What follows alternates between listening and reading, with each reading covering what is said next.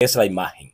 He iniciado con esta imagen de lo que es la imagen eh, infrarroja, donde se ven las zonas donde está lloviendo, mucha actividad sobre Cuba. También se observa que en República Dominicana se observan algunos aguaceros. Estuvo lloviendo en el Gran Santo Domingo, sectores de San Pedro de Macorís, San Cristóbal. Pero en el día de hoy las lluvias no han sido tan significativas. Solo algunos puntos se han generado aguaceros. El Golfo de México se observa con mucha actividad a esta hora de la tarde, nuestros hermanos de Centroamérica por igual. Y aquí, llegando al arco de las Antillas Menores, se ve mucha actividad asociado a perturbaciones, los vientos alisios, ondas tropicales. Así que nosotros daremos seguimiento. Pero antes de continuar, vamos a echar una mirada a cómo está lo que es el Atlántico eh, abierto, todo lo que es el Atlántico central y oriental, porque recuérdense ustedes que tenemos dos ondas tropicales en ruta y observen lo que está pasando en la costa occidental de África, cómo se ve eh, que desde allí estará saliendo una activa onda. Hay una en el Atlántico Medio y aquí en lo que es cercano al arco de las Antillas Menores también se acerca otra onda tropical. Como usted se da cuenta, eh, ni, en, ni en lo que es el Caribe, ni en el Atlántico Occidental, ni en el Atlántico Central, ni en la costa occidental de África hay zonas que podamos decir se va a formar un ciclón tropical. Pero el Centro Nacional de Huracanes mantiene estas mallas que le estoy presentando, eh, muy similar a lo que teníamos esta mañana. La actividad que usted ve que se está acercando al arco de las Antillas Menores obedece, vamos a decir, al punto donde está la X. Esto fue alrededor de la una de la tarde, ya son casi las siete y media de la noche. Y miren ustedes ya cómo se ve la actividad cercano al arco de las Antillas Menores. No hay probabilidades de un ciclón tropical en los próximos dos, tres días.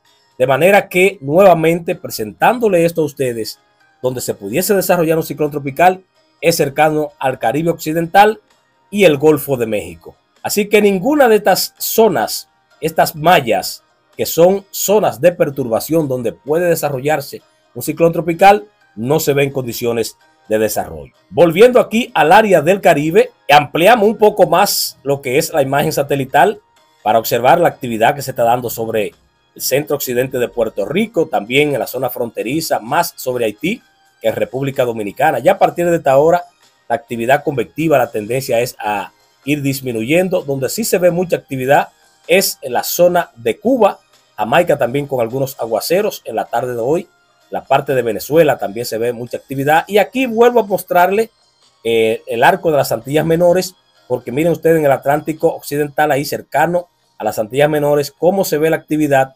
asociada a la onda tropical, de donde sale eh, la malla que está en, en color naranja. Pero vamos a colocarle los radares a estas imágenes satelitales y observemos cómo se ve el ambiente sobre República Dominicana se ve que están ocurriendo fuertes aguaceros en sectores de Dajabón, allá en Loma de Cabrera, en la zona de restauración se ve fuerte actividad de lluvias que se está moviendo hacia Haití, pero también Santiago Rodríguez, sectores de Monseñor Noel, también la parte de Bánica, Pedro Santana, San Juan de la Maguana, también se observa que en la zona de montaña se están generando aguaceros.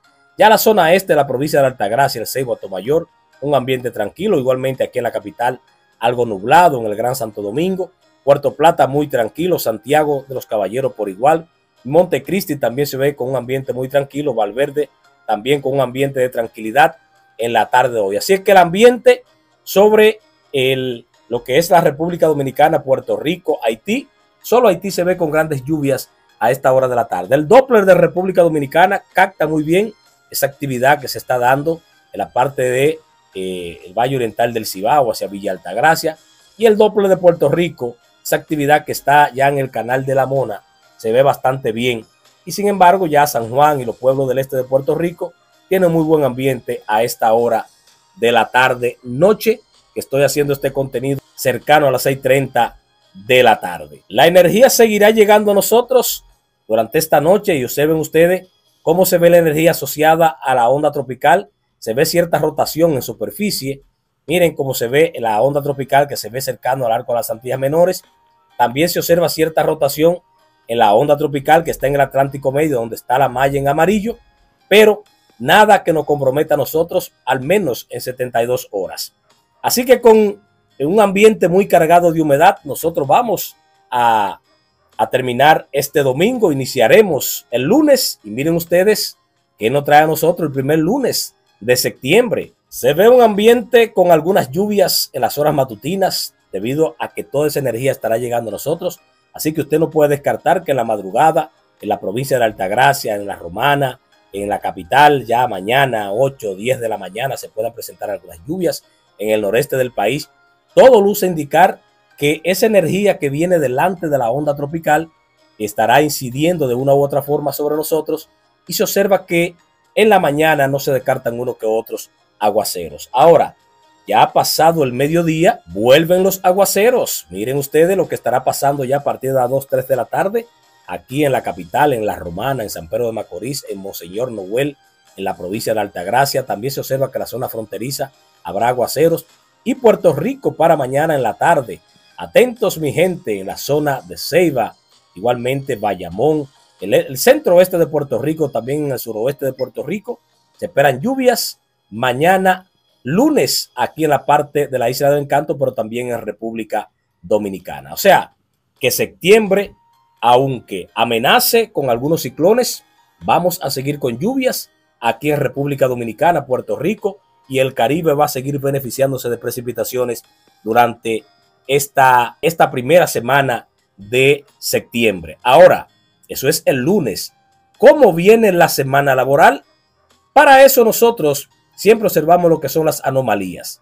Y se observa que en el área del Caribe, tanto en una primera semana como en la segunda semana, hay anomalías positivas. O sea, vamos a tener lluvias por encima de lo normal de acuerdo a lo que dicen estos datos climatológicos.